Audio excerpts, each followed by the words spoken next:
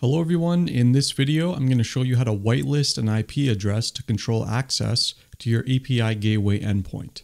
Using this method, only the machines with a set of IP addresses that we specify will be able to access our API.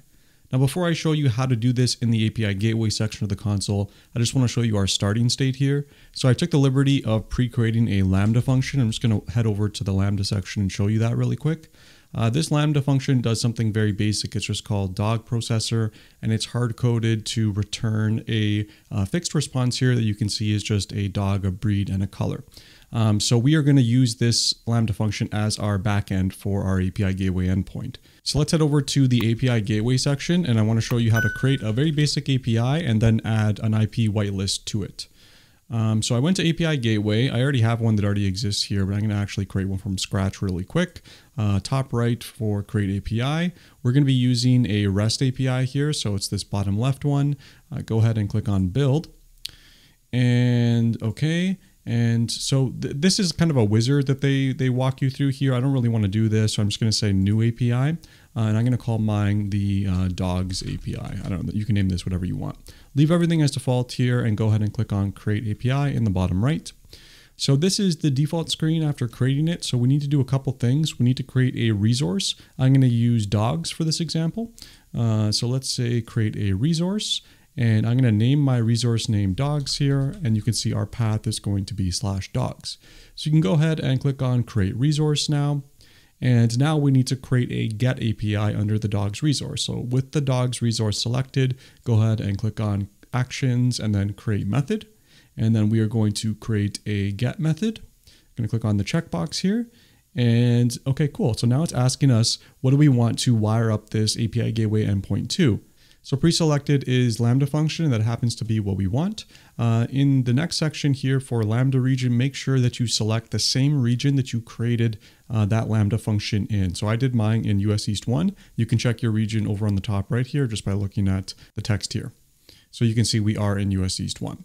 Now my Lambda function was called dog processor, so it's got autocomplete, so it just fills that in for you. Uh, so once you have that all selected, go ahead and click on save, click on OK. And now this thing should be created. Okay, great. So that's not it for actually creating it. We also need to deploy it. Uh, so let's go to, again, actions with the get API selected. Go ahead and click on deploy API here. Now, since this is the first time we did this, we want to go to new stage. We're going to call this stage test. You can call it development or beta or whatever the heck you want uh, go ahead and click on deploy. And now you can see we have a URL that our dogs API is going to be hosted on uh, and slash test for the test stage. So if you open this now, I'm just going to right click it and go to open in a new tab. I'm going to pull up that tab here. You can see um, by default, we visited that URL and it says missing authentication token. So we actually need to add slash dogs here uh, to give it the path. And you can see now it's invoking our Lambda function and it's returning that JSON that says breed Jack Russell and color white. Okay, perfect. So this is a great starting state. Uh, unfortunately, right now, everyone has access to this API gateway endpoint. So we want to restrict it to just me, just my IP address. So how do we go about doing that?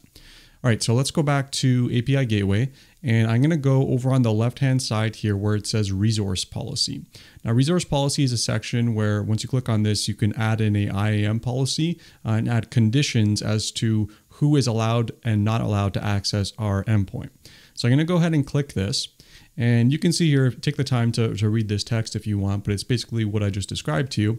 And what I want to do is just grab a uh, policy that I already have created over here and paste it in. And then uh, I want to explain to you what this means really quick. First of all, if you don't know what any of this is, like what IAM is, you probably want to go watch my IAM core concepts video. I'll leave a link uh, down in the comments and in the description section. But essentially what's happening with this top statement is that this is kind of our base case, this top statement, and this is going to be the actual control for the IP whitelist. So let's talk about the top part here. So we can see the effect is allow. The principal is star, which means that this applies to any user. Uh, you can also put in like a specific IAM user here if you want to specify who the individual is. And then we are saying the action is execute API invoke. Um, and then we're also specifying the resource. Now I also put star here. So this means that if I had more than one resource, like something in addition to dogs, then this policy would apply to all. But you can actually specify the ARN of a particular resource if you just want to narrow it down to a particular resource, stage, and API type combination. But I just have it as global for this example. So this is our base case that everyone's going to run into. By default, it's going to have everyone enabled. Now, what's interesting is how this is set up down here, and this is the actual IP whitelist.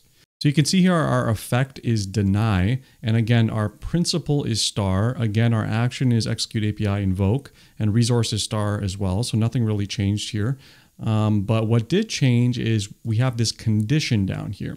And what this is saying is um, conditions are kind of like contexts in which a policy is applied. So what this condition in particular is saying using the not IP address uh, operator is saying deny everyone that is not this particular address 1.2.3.4. That's kind of a double negative and it's a little bit confusing. But what it really means if you just flip that around is you are allowing people with this address right? And only this address. So you are excluding everyone else that doesn't have this address.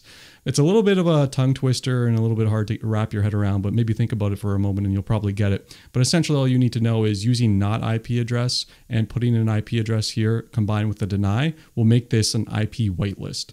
So what we can do is just leave this as uh, what I have here for now, uh, which is one, two, three, four. Now, if I go to the bottom right here and save this, so after clicking on save, you need to go ahead and redeploy your API gateway endpoint. So go back to resources.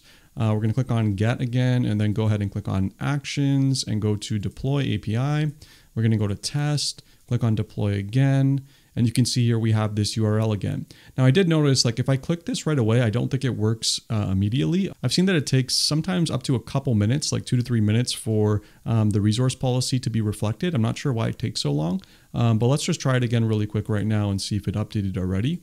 So I just opened that in a new tab. Okay, I'm going to go to slash dogs again, and we should see some kind of error here. So yeah, it hasn't updated yet. So I'm just going to keep on refreshing this until uh, API Gateway updates the endpoint.